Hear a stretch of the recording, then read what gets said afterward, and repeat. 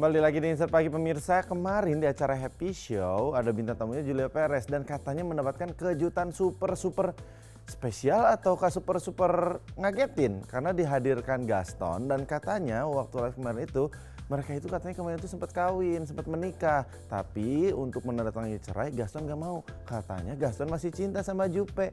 Ini bener gak ya? Langsung saja kita lihat ini dia liputannya.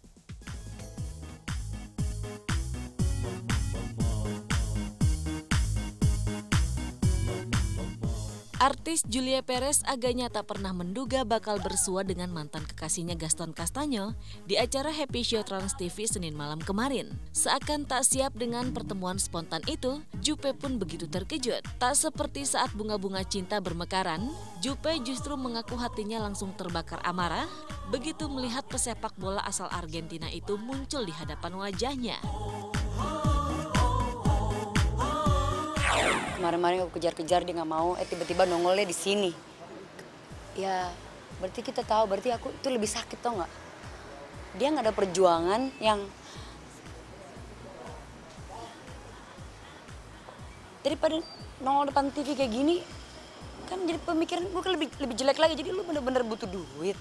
Bener-bener lu nggak kenapa lu nggak nongol depan rumah pintu gua? Minta maaf dengan semuanya. Dan semua akan baik-baik aja. Pernah ketemu pernah ketemu lagi di Bali. Di Bali itu uh, uh, kalau di Bali itu prosesnya saya sama lah. Dia tahu apa yang saya mau. Dan juga ya tetap sama kondisinya memang tidak memungkinkan.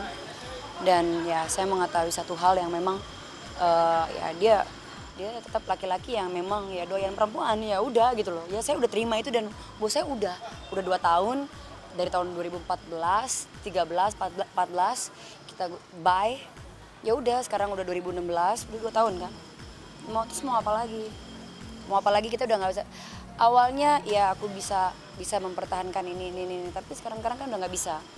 Kemarin aku telepon karena untuk meyakinkan ya ini ini ini, ini. dia bilang e, iya iya iya. Tapi dia bilang tetap nggak mau.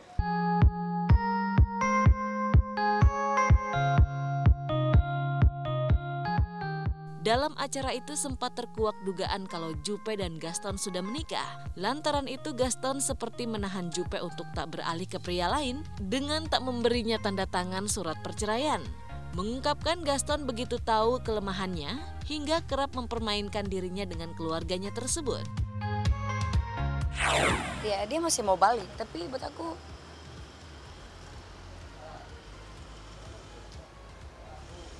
akunya capek udah capek. Aku 8 tahun makan hati gitu loh. 8 tahun aku malu dibilang sama pemirsa. Udah image aku cewek misalnya cewek baju seksi. Terus abis itu baru pacaran terus tiba-tiba putus. Makanya aku kan berjuang selama 8 tahun untuk bilang pemirsa ya kita baik-baik aja. Jadi ego yang aku aku perjuangkan ya udah aku potong ego aku nggak aku harus berjuang. Jadi orang pikir aku yang kecintaan tapi karena aku juga jaga jaga image gitu bahwa aku bukan tipe perempuan yang gonta ganti laki dan aku nggak ada di kamus aku gonta ganti laki gitu. Dan dia manfaatin kesetiaan aku. Dan ya sampai saat ini pun dia masih manfaatin dan itu buat aku is not, is not fair. Kenapa? Kenapa yang yang harus tersakiti hanya orang-orang yang yang yang yang sudahlah. Aku nggak butuh dikasih sama dia.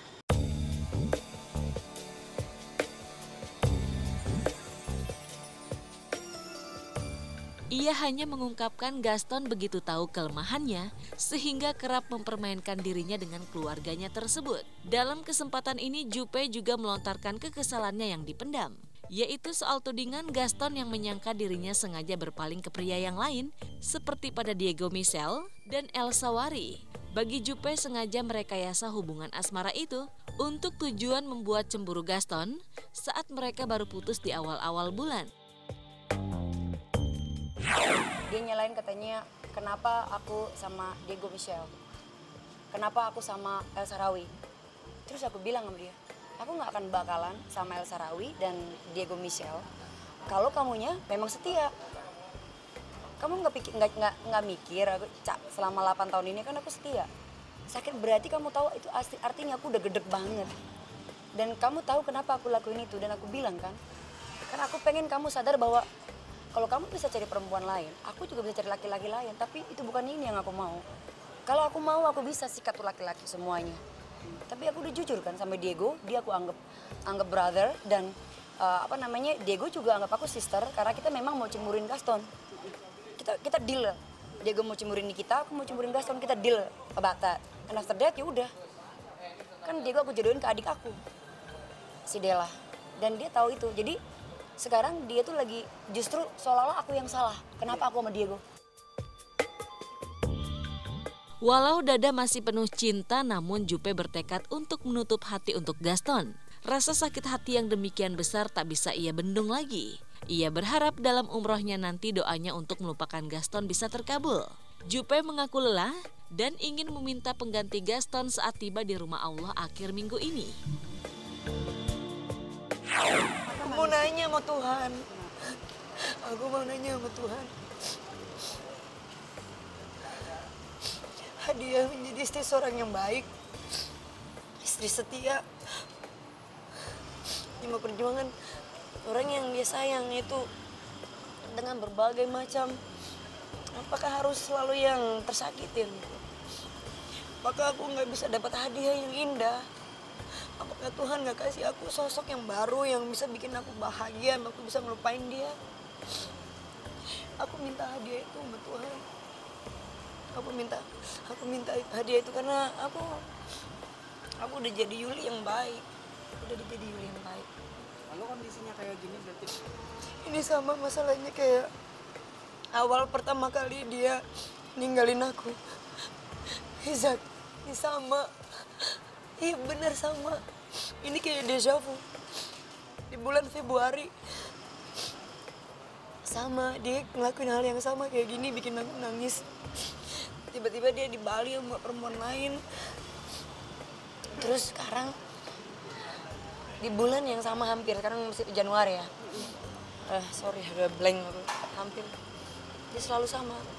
Selalu bikin aku mungkin kalau orang cinta orang sayang nggak mungkin bikin orang yang kamu cinta tuh nangis. Apalagi dia tahu aku lagi lagi keadaan kondisinya aku lagi nggak memungkinkan sekarang untuk aku lagi kesel banget udah gitu deh